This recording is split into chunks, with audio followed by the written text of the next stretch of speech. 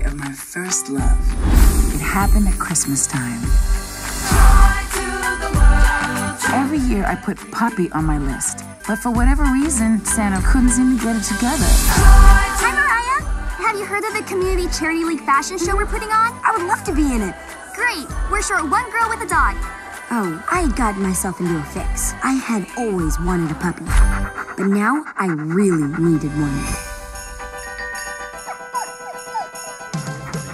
Family named the Kranks. Every year, they would celebrate Christmas together. Merry Christmas.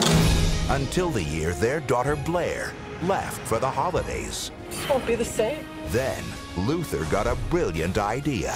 We skip Christmas. We'll go bask in the Caribbean sun. We skip Christmas. What's up? No Christmas Eve party? Run away from Christmas, huh? A lot of the neighbors are pretty upset. I have told you not to disturb me when I am working. On Christmas Eve, the spirits pour into the night.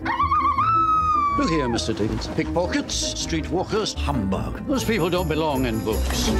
Charles. Humbug! Humbug! Humbug! It's about a miser, and on Christmas Eve, he meets some kind of. This Country's so damn excessive, it makes me want to puke. Where's Douglas's stuff? Boyd and I left all of Douglas's stuff in Chicago. Get in the truck, Gladys. We got Christmas to save.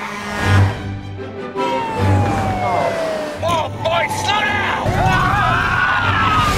Left my damn keys in my damn car! Uh, you just threw a flower pot through your window there. Yeah. oh, I bet they're having a ball. I gotta take a squirt. Do you guys have a bathroom or no? Yeah, we got indoor plumbing.